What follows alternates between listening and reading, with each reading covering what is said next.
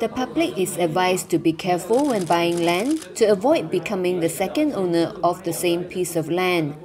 MCA Public Services and Complaints Department head Dato Sri Michael Chong said they received over 20 complaints from house owners living in Kampung Baru Ampang who had their lands being claimed by third parties. He said the matter has been going on since many years ago, but it is getting more serious of late Many of the these uh, houses, uh, especially in New Village, 尤其这个 house 那个住住家屋啊，在那些新村那些啊，where they've stayed for many many years 啊，some stay as much as at least eighty to hundred years 所说的，一百年都有。This this type of uh, houses, I mean, they stay there. And uh, of course, uh, from the new village, Many of them still under TOL. Uh, so you've been staying there, suddenly they come and claim the land, claim that, uh, then you have to move out. So uh, a lot of people, old people who have been living there, the all the time generation have been there, suddenly found they are lost, the house gone.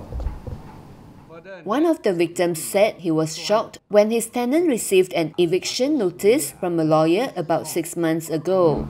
I, I just read about, I start from the beginning that when I purchased this uh, property, it was in 1993. And um, I have been occupying and utilize, utilizing it without any challenges from any third party. Okay. Subsequently, I extended the lease to 99 years and I also have the area which is zoned in light industry and I have the property to be converted.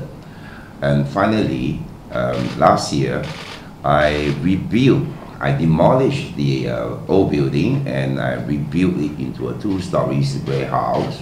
And um, I also managed to get the CF, certif uh, Certificate of Fitness from MPAJ. Then I pledged it to uh, Maybank, and the Maybank has done all the due um, diligence in order to release the bank loan to me, has no dispute at all. Then uh, all of a sudden, about five to six months ago, uh, my tenant, which I rented it out last year after I got the CF, suddenly, out of surprise, received an eviction letter from a lawyer represent two owners um, with this with different title law, but on the same piece of land.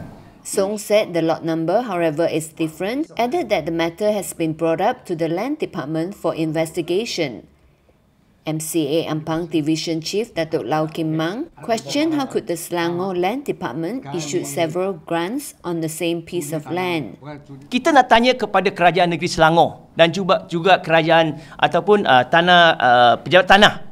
Kenapa tanah ini boleh diberi kepada orang yang kedua ataupun geran yang kedua bila dia buat permohonan Adakah pegawai datang daripada pegawai, uh, pejabat tanah datang buat survey, datang ambil gambar, adakah tanah ni tapak kosong ataupun ada rumah? Kenapa boleh ke kenapa boleh ini orang keluarkan geran yang kedua dalam tapak yang sama? Lawyer Tato Tempok advised the public to check the land status with the land department prior to purchasing, especially if they know the land or property has been occupied by the same owner for many years.